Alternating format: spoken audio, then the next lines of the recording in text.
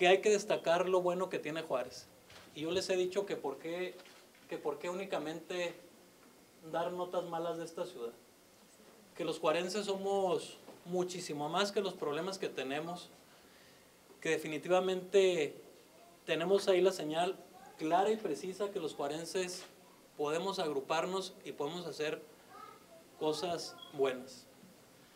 Yo quisiera que hoy los compañeros de la prensa destacaran la noticia de que 25 niños están apadrinados por la policía municipal. No únicamente la, la policía municipal son malas noticias, y nos hemos cansado de decirlo, la policía municipal, claro, como en todos lados y como en las familias de todos nosotros, habrá buenos, habrá malos, pero la policía municipal está llevando a cabo su labor. Sí, a lo mejor algunos excesos que no podemos desconocer que a veces hay excesos, sin embargo, yo casi creo que son mucho mejores los buenos elementos que los malos elementos.